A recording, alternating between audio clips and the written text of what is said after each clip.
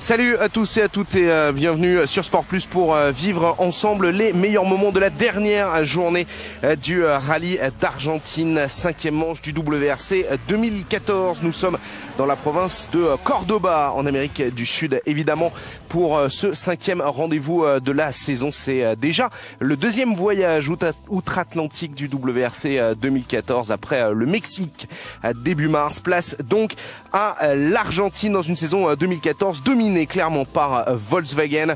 Euh, vous le voyez, surtout euh, ses pilotes, hein. évidemment Sébastien Ogier, vainqueur à trois reprises, et le Finlandais Jari Matti Latvala, vainqueur d'une des quatre premières manches disputées dans cette saison 2014. Quatre jours de compétition euh, au programme de ce rallye d'Argentine, avec plus de 400 km de spécial particulièrement relevé à disputer pour les pilotes dans la région de Cordoba, la deuxième ville du pays alors que euh, l'assistance, elle, est basée à Carlos Paz. Et l'un des premiers pilotes à se faire euh, piéger, c'est euh, Mats Osberg, le Norvégien, avec sa DS3. Il sera imité quelques minutes plus tard par Ott Tanak, le pilote de WRC2, qui part dans un violent tonneau, heureusement sans conséquences hein, physiques, en tout cas pour le pilote et le copilote. Nico Järvonen, lui, va rater une note tout simplement et prendre à très grande vitesse. Un virage qui devait passer plutôt lentement. Là encore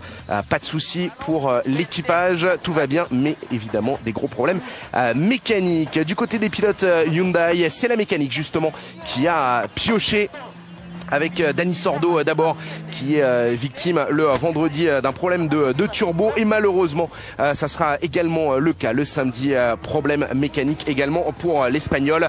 Ça va pas mieux du côté de Thierry Neuville hein, également contraint à l'abandon enfin le retrait lors de la première journée en raison de, de problèmes turbo. Heureusement la deuxième journée sera bien meilleure le samedi puisqu'il remontera de la huitième à la cinquième place du général malgré cette petite faute dans la spéciale 8 euh, du côté euh, de chez euh, Volkswagen Ultra Dominateur. C'est la mécanique qui pioche pour Andreas Mikkelsen, le Norvégien, victime d'un problème de courroie d'alternateur.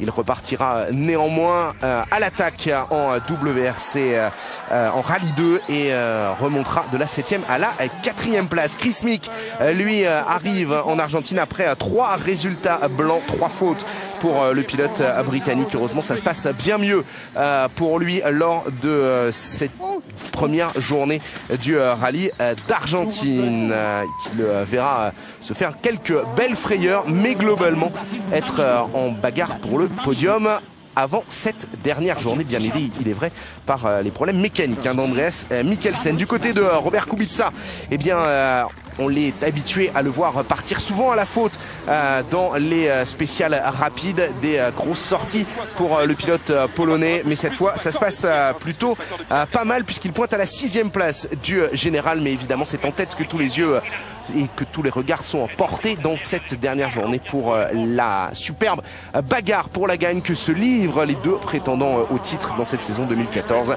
Les deux coéquipiers au sein du team Volkswagen, Yari Matti Latvala et Sébastien Augier et c'est euh, le Finlandais qui prend euh, le meilleur à l'issue euh, des premiers jours de compétition. Un petit peu aidé par une faute du champion du monde en titre. Ce petit tête à queue qui va lui coûter quelques précieuses minutes. Il va néanmoins pouvoir repartir. de la cosmétique hein, sur euh, la voiture, même si euh, le pneu a franchement euh, souffert, hein, vous le voyez au niveau de sa structure. Il n'y a pas de souci, en revanche il a quand même pu terminer la spéciale sans pneu à plat. Et puis nouvelle petite faute lors de la super spéciale disputée de nuit pour Seb Ogier qui va à nouveau lâcher un tout petit peu de temps. Conséquence, après 10 des 14 spéciales disputées dans ce rallye d'Argentine, eh bien vous le voyez, Latvala pointe en tête avec 31 secondes euh, d'avance sur Seb Ogier. De quoi nous offrir un très beau spectacle, évidemment, pour euh, la dernière journée avec quatre spéciales euh, au programme. Les deux mêmes disputés dans les deux sens. Et puis, attention également derrière à la bagarre pour le podium entre Chris Mick et Andreas Mikkelsen. Et on passe tout de suite donc à la spéciale numéro 11, 22 km pour Mina Clarvaux. Clavero, pardon, euh, qui est disputé contrairement à l'habitude et à la tradition dans ce rallye d'Argentine dans le sens inverse. Malheureusement, une euh, dernière journée marquée par des conditions euh, météo épouvantables. Et on retrouve tout de suite Mikko Järvonen dans la spéciale marquée par ce paysage particulièrement lunaire. Hein. C'est une des, spécificités de cette spéciale de Mina Clavero pilotes euh, descendent cette année euh, la montagne. C'est d'ailleurs euh, la première fois hein, depuis 10 ans qu'il dispute le parcours dans ce sens. Les pilotes, pas de problème malgré les problèmes de, visibilité. Hein. On l'a vu pour Mikko Järvonen qui va quand même réussir un très bon chrono se passe un tout petit peu euh, moins bien pour euh, Thierry Neuville. Mais évidemment, la Hyundai au niveau euh, moteur reste un petit peu perfectible hein, par rapport, bien sûr, à la Ford. Ça se passe mieux en tout cas pour Thierry Neuville que pour son coéquipier, hein, dont il doit évidemment essayer de, consoler un petit peu après l'abandon de Danny Sordo, le, le team Hyundai. Objectif pour euh, Neuville prendre la euh, cinquième place euh, au général à l'issue de cette dernière journée. On l'a vu, pas de problème pour Andreas Mikkelsen qui attaque parfaitement pour essayer de revenir tout simplement sur Chris Mickey. Il a 1 minute 56 de retard sur le pilote britannique. vise évidemment son euh, deuxième podium de la saison. Vous avez perdu près de 30 secondes dans cette spéciale, mais elle est très longue. Ça va? Pour vous Ouais, c'est parfait. On peut se permettre de perdre une seconde 5 au kilomètre. Donc j'ai préféré assurer. Surtout que je ne suis euh, pas très bien réveillé ce matin. Heureusement, euh, la prochaine spéciale fait 16 km. De toute façon, troisième ou quatrième pour nous, c'est un peu euh, pareil. Même si on peut accrocher le podium, ça sera bien évidemment. Mais c'est Andreas qui doit attaquer. Quand on remonte de derrière comme ça, on ne veut surtout pas faire d'erreur. Et ça, c'est évidemment à notre avantage. Et on revient évidemment à la bagarre pour la première place avec Sébastien Augier qui euh, va tout simplement assurer dans euh, cette euh, dernière journée. Il a compris avec ces, deux petites erreurs, le gars pensait eh bien tout simplement qu'il ne pouvait pas aller chercher à la régulière Yarimati Latvala. Et bien sûr, quand on joue un championnat, il faut parfois savoir assurer des places sur le, sur le podium, lâcher un tout petit peu pour être sûr d'être à l'arrivée. Et c'est ce que va faire euh, Sébastien Augier tout au long de euh, cette euh, dernière journée de compétition de ces quatre spéciales. Préfère ne pas prendre de euh, trop gros risques sur euh, ce parcours extrêmement euh, boueux et donc très glissant.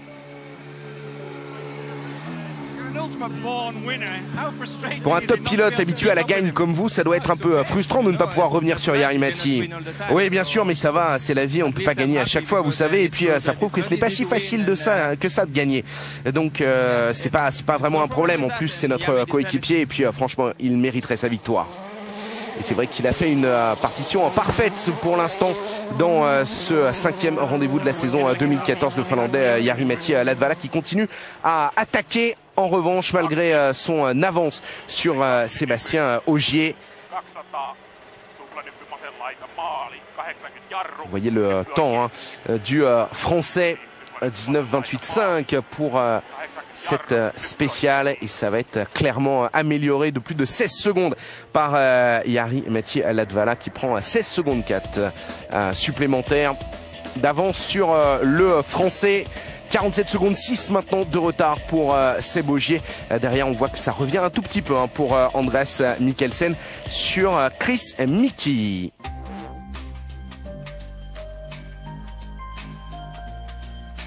Et la météo qui aura été euh, l'un des grands animateurs de euh, ce cinquième rendez-vous de la saison 2014. Euh, plus exactement au niveau des, prévisions, un travail évidemment toujours compliqué à gérer et qui est primordial pour assurer la, performance puisque bien évidemment on choisit les pneus en fonction du type de terrain que l'on va rencontrer s'il est franchement détrempé, tout sec au contraire, surtout sur un rallye aussi particulier et cassant que celui d'Argentine. C'est ce que nous explique Silke Hansen. Ici en Argentine, nous avons beaucoup moins d'informations qu'ailleurs. En fait, c'est ici que nous en avons le moins. Par exemple, en Allemagne, nous avons 17 radars qui servent à faire les prédictions à météo, alors qu'ici en Argentine, il n'y en a que 5. Et c'est pour tout le pays. Donc quand ce rendez-vous approche, je sais qu'il faudra accepter une petite part de flou et je m'entraîne à la maison euh, dans les semaines qui précèdent en utilisant euh, les mêmes moyens que ceux dont je vais disposer sur le terrain ici. Euh, je fais mes prévisions et puis je vois si elles sont bonnes ou non sur une spéciale comme El Condor par exemple. C'est très compliqué. L'an passé, j'avais prédit pas de pluie en traitant les datas, mais le radar lui me disait qu'il allait y avoir de la pluie. C'était un peu bizarre et puis une fois sur place, on a constaté que c'était sec et que donc le radar était faux. il faut dire que l'altitude ici en Argentine complique vraiment la donne et les prédictions parce qu'on ne sait jamais vraiment comment les masses d'air vont réagir en passant les montagnes. Donc pour savoir avec certitude le temps qu'il fera ce week-end, eh bien le plus simple c'est de me poser la question lundi et euh, les prévisions euh, météo qui devaient quand même annoncer un peu de mauvais temps hein, pour euh, cette dernière journée puisque vous le voyez encore une fois pour la douzième spéciale, c'est le brouillard, l'humidité qui prime avec un terrain largement détrempé et des conditions particulièrement piégeuses pour les pilotes sur ces routes extrêmement, ces pistes extrêmement, extrêmement boueuses. Comme toujours, euh, vous le voyez ici avec euh, Martine Procop en caméra embarquée. Euh, le public argentin, fervent adorateur de sport mécanique, on le sait, a été au rendez-vous. Beaucoup, beaucoup de spectateurs sur le bord des spéciales tout au long de cette cinquième manche de la saison 2014.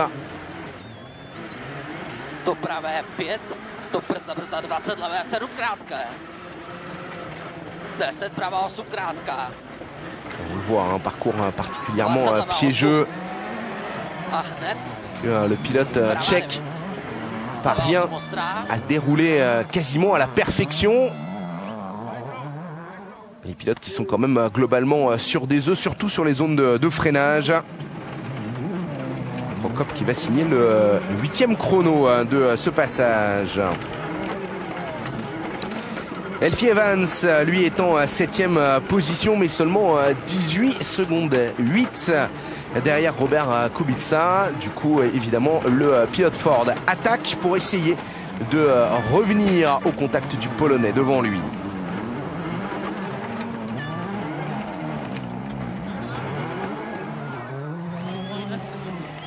Ça va payer puisqu'il va récupérer près de 6 secondes à l'ancien pilote de Formule 1.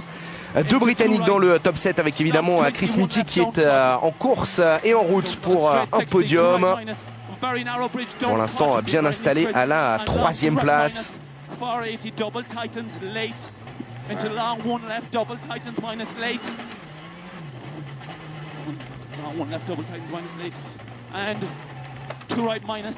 Et on entend le euh, très bon travail de Paul Nagel dans le siège de droite qui petit à petit euh, évidemment déroule les notes mais euh, également motive, hein. on l'a entendu, son, pilote.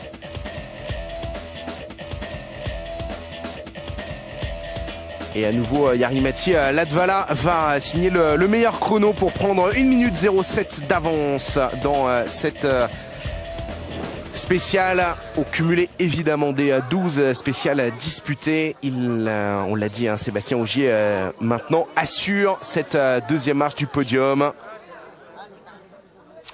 Et la météo qui ne s'arrange pas avec euh, le brouillard de plus en plus euh, présent sur euh, le, parcours. On passe à la spéciale 13, avant-dernière spéciale de ce rallye d'Argentine avec Robert Kubica, toujours à la bagarre pour conserver sa sixième place face au jeune Elfin Evans. On rappelle qu'il n'y a plus que 11 secondes d'écart entre les deux pilotes. Petite erreur ici pour Robert Kubica, juste un tout petit euh, contact euh, côté droit. Heureusement, pas de quoi abîmer euh, la voiture, mais un petit peu de temps perdu pour le pilote polonais.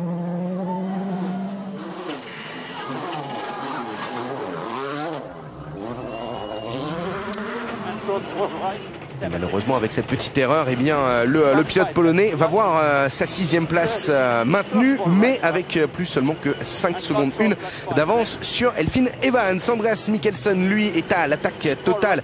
Évidemment, le pilote norvégien pour essayer de revenir sur euh, la troisième marche du podium, pour l'instant occupé par euh, Chris Mickey.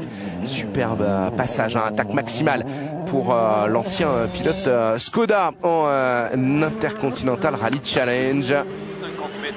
Champion, évidemment, on s'en souvient, il y a deux saisons de ça. Du côté de Seb Augier. On assure toujours dans cette avant-dernière spéciale. Alors on assure évidemment euh, à au rythme. Mais il se euh, contente euh, désormais le, gars pensait des 18 points de la, deuxième place. Son objectif dans cette dernière journée, c'est de faire le, carton plein lors de la Power Stage.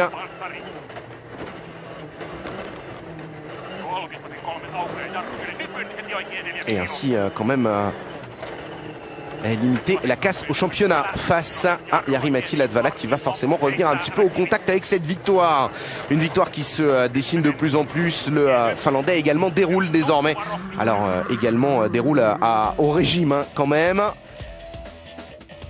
Mais voilà, il prend 1 minute 37 d'avance sur Seb Ogier. derrière, ça devient de plus en plus serré quand même pour Chris Miki. 51 secondes 2 d'avance désormais sur Andreas Mikkelsen.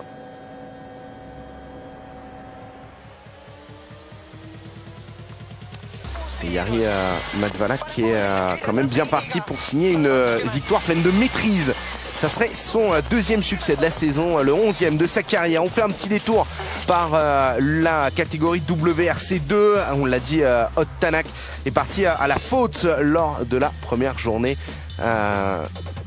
extrêmement euh, spectaculaire, tout simplement parce qu'il a été déconcentré par euh, la voiture de Mats Osberg euh, devant lui. Vous l'avez entreaperçu sur cette caméra embarquée, arrêtée sur le bord droit au sortir d'une compression. Yuri Protasov, le leader du championnat, va également partir à la faute dans un crash spectaculaire. Heureusement pas de soucis hein, pour l'équipage ukrainien, soucis physiques évidemment au niveau comptable pour le championnat. C'est bien moins probant ce genre de, figure. Zéro pointé pour euh, l'Ukrainien.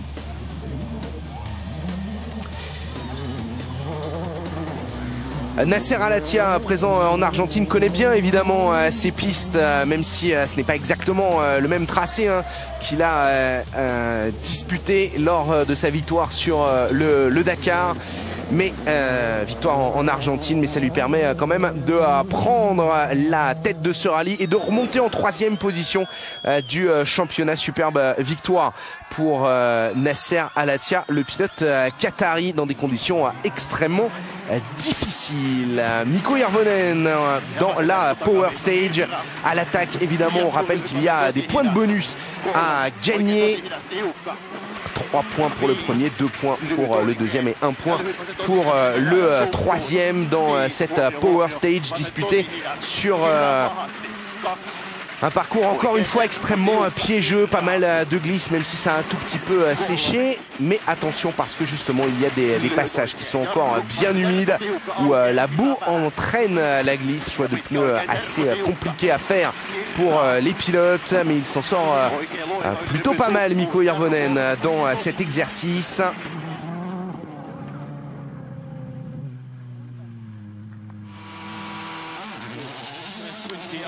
Il en a besoin incontestablement Miko Hirvonen hein, parce qu'après son problème lors de la, première journée, euh, il ne termine que 9 de, de ce rallye et aimerait bien prendre euh, l'un des petits points de, bonus. C'est le cas également pour euh, Chris Mickey, même s'il est parfaitement ravi de son podium. Pourquoi ne pas espérer gratter un tout petit peu?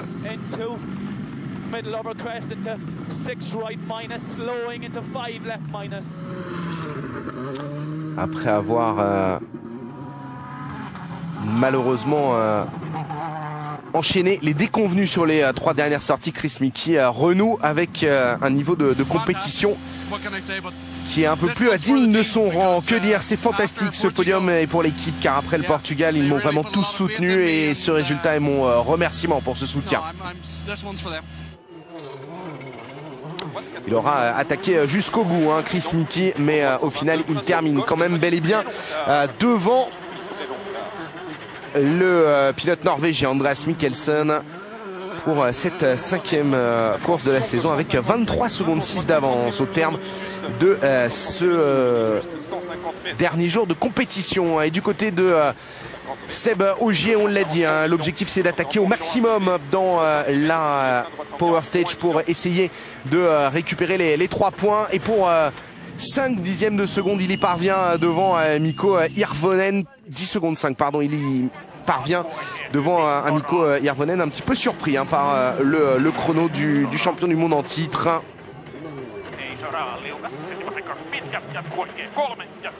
Et du côté de Yari Mathieu Latvala, on attaque également pour essayer d'augmenter un petit peu son nombre de points glanés. Et au final, il va prendre la troisième place de cette Power Stage derrière Ogier et Yarvonen. Ajoutant ainsi un petit point pour marquer au total 26 points contre 21 à Sébastien Augier au niveau du championnat. On le verra dans un instant.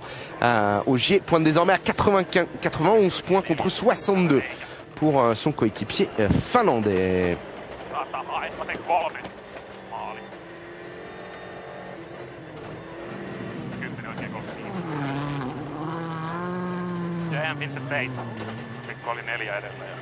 Un petit dixième hein, seulement derrière euh, Miko Irvonen qui euh, sauve quand même deux très bons points.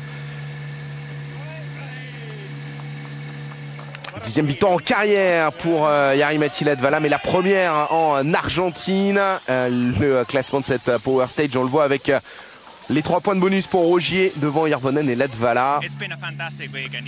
Ça a été une semaine euh, fantastique pour nous, euh, nous dit euh, Yarimati Latvala, le vainqueur. Ce rallye ne m'a jamais vraiment souri par le passé, même si j'ai fini sur le podium ici l'an passé. Mais cette victoire est vraiment très spéciale car on a réussi à tout mettre bout à bout pour une fois. C'est le fruit d'un gros travail d'analyse avec mes ingénieurs et ça prouve que l'on a compris ce que je devais faire pour être réellement performant et me hisser au niveau de Sébastien. Toutes ces petites choses mises bout à bout euh, prouve que l'on travaille dans la bonne direction et que la victoire doit désormais être euh, tout le temps notre objectif. Et voici donc le euh, classement final de ce cinquième rallye WRC 2014. La victoire donc on l'a dit pour Yari Ladvala avec au final 1 minute 26-9 d'avance sur Sébastien Augier. Très belle troisième place pour Chris Mickey et puis globalement tir groupé hein, quand même 1, 2 et 4 pour le team Volkswagen. D'où la joie de Yost Capito. C'est un nos meilleurs rallyes alors qu'il était pourtant très difficile mais tout a parfaitement fonctionné. Nous avons eu euh, juste un petit souci avec la croix d'alternateur d'Andrea le premier jour. Ça l'a contraint une belle remontée. Ça le prive de, podium. Sans ça, nous aurions euh, placé nos trois voitures sur le podium. Et puis euh, du côté de Yari Latvala, satisfaction supplémentaire car nous dit-il c'est la première fois que je gagne à la régulière face à Sébastien Augier et c'est une immense satisfaction. Surtout qu'il ne faut vraiment jamais se relâcher sur ce genre de rallye ultra piégeux. Il est en effet toujours possible de faire une petite erreur ou de connaître un problème technique. Donc oui, c'est vraiment une grande joie et une grande euh, fierté.